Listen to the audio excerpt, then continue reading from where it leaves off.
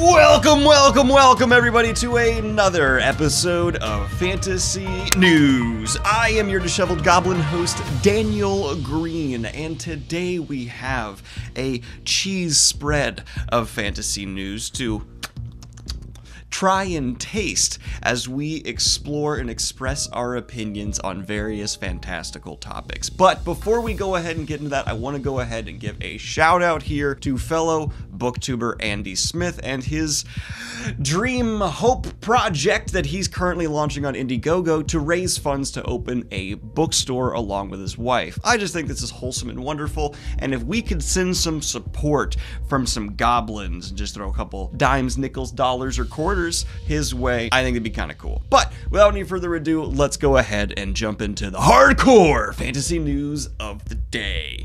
Nailed it that time. Good God. First up, we have a look at some art from Marc Simonetti, where he says, Here is my fresh new cover art for Toll the Hounds by the almighty Erikson Steven, because that's how it's said on Twitter, apparently. And Oh my lord, I already liked a lot of the art associated with Malazan, but holy crap, uh, this is a wonderful entry into that catalog of portrayals of this brilliant epic by Erikson, and I am a fan of it. If this is gonna be a whole series, I might collect these because I don't have all 10 Malazan books yet, and this could be the the way I collect them. And I know I normally open up with covers and covers and covers and art, but I want to try something a bit different here where instead I actually open with some nice beautiful art to get us in a good mood. Then I delve into the stuff I have some kind of negative opinions on, and we roll on into the rest of the positive news. So that way there's only one little dip in the middle and we finish out strong. But let's go ahead and get into a Times article that's certainly making waves. On August 9th, Time published a story titled How Extortion extortion scams and review bombing trolls turn Goodreads into many authors' worst nightmares. This, combined with a recent Lindsay Ellis video and Twitter threads regarding this topic, are really exposing how toxic and bad for authors Goodreads is turning out to be. This is a topic we've obviously covered repeatedly here on the channel, but now this is getting attention from the like of, you know, time. It's an article that really breaks down a lot of these problems, and I also recommend Lindsay Ellis's recent video where she talks about her experience in trying to get published, even with her audience and the backlash that can happen there. Some of these things I actually experienced like exact same myself. So if you'd like to know why so many authors are turning out to be passionate about this topic, eh, there's a lot more than just they don't like having this website that they don't control the information about their books and therefore sometimes falsely represent their books and result in problems. No, it goes beyond that. And full disclosure, after my last video, I did have Goodreads reach out and fix some problems for me and try to get me to sign some things. I ended up just walking away from it, not wanting to engage in all this, but there's going to continue to be new developments here. For the positive or negatives, I'm not sure, but I'll keep my eyes open. But now putting our toes into that hardcore fantasy news, the biggest controversy of the community I've seen in the past week is the announcement that Amazon is going to be moving its filming of the Lord of the Rings show out of New Zealand and instead to the UK.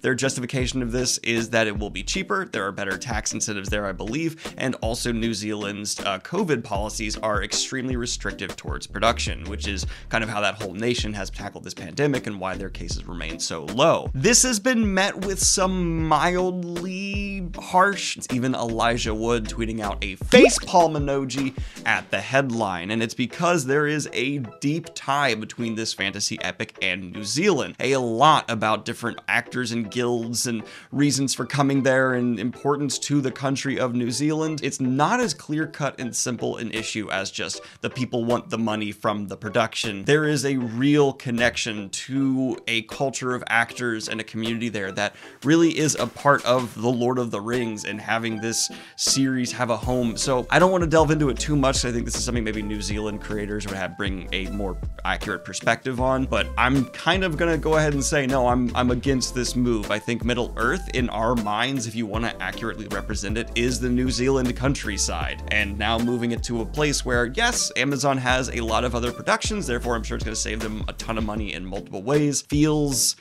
very business motivated for a series that just recently got a big push of positivity from the fans from the art they put out. It seems like they've kind of rolled back that positive push where I really did see a change in momentum in the fan base. I have felt nothing but hesitation from fans up until this point about the Lord of the Rings show. They got a lot of positivity from that image, and it seems to have been rolled back. Okay, I didn't cover well both sides of the argument, and to punish myself, I'm making explain the other side of the argument while doing this workout. The other side of the argument is that New Zealand's COVID policies are so restrictive it might actually be impossible to shoot the show. Shooting in the UK could shave the show a bunch of money, which lets them actually improve the VFX and other things like that. A long time actually making the show with Ian Case better. The UK is actually the home of the Lord of the Rings, so it actually feels like for a lot of people, the Lord of the Rings is coming home. This isn't the side of the argument I necessarily agree with. I just want to present it fairly to the other side. I'm sorry. Oh my god, I want this to stop. I can say that my honest reaction to this is right alongside Elijah Woods. And then the final bit of controversial pushback from fandom news I want to cover here is actually about the upcoming Halo TV show, because the showrunner went on record saying that we're going to see a side of the character we previously have not. Now, the specific quote in bigger context is important here, and I want to provide it. Full quote being, probably the biggest challenge with adapting the game is the game is designed to put you in Chief's armor. What we're asking people to do with the show is sort of sit back, and we're going to present a side of Chief that you just don't get to play in the games. They also go on to talk about the responsibility and the care they are taking with this franchise. And I've seen some people really have a negative reaction to this, saying they're going to change the character, but I think the broader context actually really clarifies what they are saying. It's a medium change issue, and it's one that they absolutely have to address, or it will be a problem for the show. Because absolutely Master Chief's character within the games is deliberately held back and reduced so that you, the gamer, can directly put yourself into that character as much as you would like. You don't even really get a face of Master Chief. But now with a show, you don't get to put yourself in the character. Instead, the character needs to bring a performance, an arc that you believe in and are invested in beyond what typically games are having to shoot for due to the fact there is gameplay at the focus instead of like a character arc. I've had some fans of Halo that I know and respect actually talk about how they could pull from certain books to fill in a lot of the gaps that are specifically being talked about here. And let me know if you agree with that if you're someone who has enjoyed the Halo books, because unfortunately I cannot speak on the matter. For some people who have had some negative reaction to this, let me know what I'm missing in the comments down below. I'm not here to say I'm absolutely right. I just want to see what your reaction is as a diehard Halo fan, because admittedly I've been a casual fan of the games. But before we get into the positive cover news again, let's have a quick word from today's sponsor. Hello, Warriors of the Light! It's me, your host, the Warrior of Truth, and I'm here to tell you about your new utensil you need in your utility belt freedom to help Big Gondor stay out of your kitchen. That's gonna be campfire right here. We all know the false king Aragorn's gonna tell you you don't need campfire, that you can just free flow with the pen. But that's not the truth, Weekend Warriors. I'm here to add a new beacon to your call for aid, and that's gonna be campfire. Maybe Sauron was telling some truths when he said it's okay to accept help from the outside, and that's exactly what Campfire is gonna provide for you. Campfire is the all-in-one storytelling package that lets you get those languages, voices, locations you see from other worlds whispered in your ear at night when you're crying in the shower. Out to the page! So if you want to go ahead and have it choose your own pricing writing aid added to your utility belt of freedom, all you need to do is check out that link in the description. You can help fight for the truth in the world. What is Aragorn's tax plan? We still don't know. Okay, that was weird, but we're gonna go ahead and get into a cover reveal from author Kylie Lee Baker, and it's for The Keeper of the Night. And I love when they do these kind of animated moving covers. I don't know, I'm just, I'm that big a geek where it excites me. Described as a badass biracial Reaper girl, a pitch black underworld, demon slaying siblings who would die and kill for each other. Oof, you love to see it, and it's currently available for pre-order with even signed copies. And we also had an interesting update from Denis Villeneuve about the sequel Dune movie. For those of you who aren't aware, yes, the Dune book for these movies is going to be split into two, and it seems that work is currently being done on that sequel, encouraging for fans who actually want to see that finally greenlit, which we've seen some wiffle waffling on. But finally, his big kind of sneak preview is he's saying Zendaya's Chani will be the protagonist, which probably makes a lot of Dune fans go, why? Why would it suddenly be her story? But I am interested in this creative decision. I understand for more diehard Dune fans that could feel like a wrong turn, but as someone who's not super connected to the story, I kind of from an outsider looking at it, am excited to see what new perspective that could bring on Dune, because I did feel a lot of the weaknesses were in that second half. So if the second half is told from another story, specifically a character who can provide that better uh, view perspective from the Fremen and maybe flesh out that angle of the whole story more, that would actually bring me in kind of doubly invested because I'm such a culture and like, you know, world reader. Some character that's kind of more based in that could kind of add new angle to Dune I'm really interested about. I also like that Timothée Chalamet will be the protagonist of the first, and then we can pass the baton on to Zendaya, who I would just be excited to see bring what they can to the table to carry a movie like this. And then we had an update about the One Piece live action adaptation, and I have a lot to say here. It's Daniel venting fantasy news today, apparently, but the headline reads One Piece new character description for the highly anticipated live action series exclusive. And if you are at all a fan of One Piece, none of these descriptions are going to really surprise you. They just seem like pretty accurate studio descriptions of these iconic characters. But I will take this as an excuse to say I have never really talked about the One Piece live action adaptation as someone who has been decently deep in the series as I am now. And what I can say is, I'm sorry, this is going to be my ultimate uh uh, no, no, no. There's so many things that make me think this will not work. I'm usually not the kind of person who will say something is unadaptable, but One Piece gets so much of its heart and humor from the medium of animation, and its characterization comes through stronger because of that.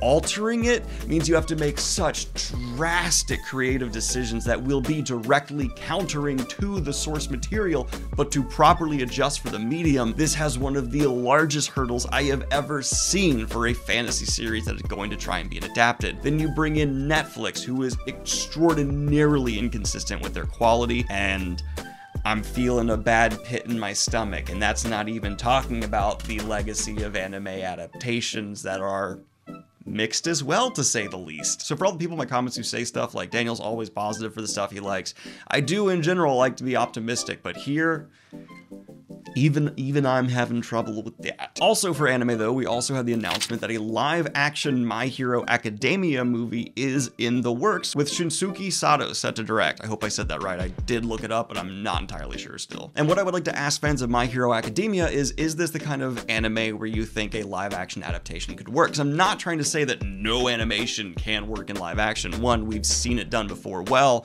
and two, we have blatant examples like I think Attack on Titan is one that's just really obvious could work in live action because it utilizes their own animation in a way that I think would be easier to translate to live action and they're not dependent on the exaggeration that animation often applies for so much of the heart of the show. See what I'm saying? Or am I insane? Probably yes. But you might know this director from I Am a Hero or The Princess Blade, neither of which I've seen, but if you have, let me know if they're good. And then Wheel of Time casting news, which I'm always excited for, but I just thought the reaction to this was pretty funny. But what we have here is that a Danish actress has been cast for season two by the name of Sally Salea. Salea, again, names me dyslexia, it's not clear and easy. But the funny reaction that I've seen again and again from the Wheel of Time community. Every time a blonde actress is hired for Wheel of Time, thousands of tweets, hundreds of billions of comments saying, It's Elayne! It's a blonde woman, therefore it must be Elayne! I mean, maybe. But there's other blonde people in Wheel of Time. For the amount of crap Elayne gets as a character, it's funny to see so many people freaking out over the casting. Uh, I personally don't think this looks like it's going to be our Elayne, but I could be wrong, and I'm very open to that. And then we have one final gargantuan story of the day. It was a packed day for Fantasy News Big Stories. And that is going to be that George R. R. Martin has announced a new graphic novel on the way from him. Titled Voyaging, this idea apparently came to the author in the 80s. In this announcement, he said, the Thousand World stories span centuries and light years, and had their own cast of heroes, villains, legends, and colorful characters. None of them more colorful than the trader and ecological engineer Haviland Tuf the protagonist of a long series of short stories I have collected together in the Fix Up Tuf voyaging. He then says, as A Song of Ice and Fire kind of consumed his life, he never was able to get around to writing this story, and now he is. He also made a slight hinting that it could have a future on TV, but you know, whatever. That's pretty pretty run of the mill at someone his level of celebrity. And I'm just going to go ahead and put in the obvious comments that I get so often whenever George R. R. Martin says he's working on anything. Guess this is why we're not getting Winds. George shouldn't be working on anything. There. Now you don't have to. Wait, no, I kind of want you to still comment that because algorithm. I screwed myself. Comment something else random for algorithm. But that has been our latest episode of Fantasy and News. Like and subscribe if you have not already, and hit the Patreon if you'd like to support what I do here. Have a good one, y'all. Peace. And of course, I'd like to record a special shout out to my latest high tier Patreon, Ethan.